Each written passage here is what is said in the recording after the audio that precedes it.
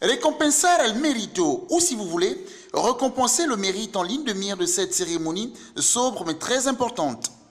D'un côté, les heureux bénéficiaires, de l'autre, leurs parents et les maîtres de cérémonie, l'ambassade d'Espagne au Gabon.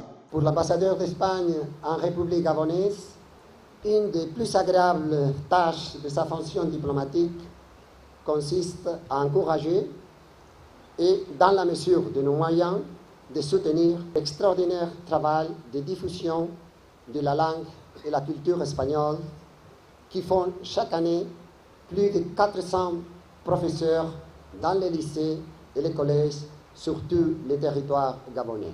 Une célébration du mérite à laquelle les autorités gabonaises adhèrent.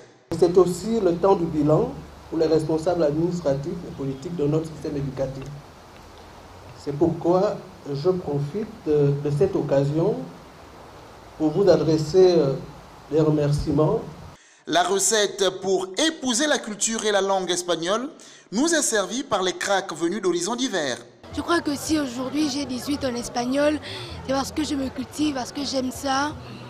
Et je crois que si je m'y mets, si je me donne les moyens, qui sait, je me retrouverai en Espagne un jour. Donc, euh, mon conseil, c'est juste d'aimer, d'avoir l'esprit de curiosité et finalement l'apprentissage, parce que en tant qu'élève, il faut tout aimer, il faut tout apprendre. Et puis voilà. Le secret n'est autre que l'étude. L'étude, l'étude, lire les livres régulièrement, chaque jour, au moins il faut réviser un livre, conjuguer un verbe chaque jour. Ce n'est que ça le secret. Le prix de l'ambassade d'Espagne participe à l'éclosion de meilleurs élèves à travers un projet auquel les établissements doivent souscrire.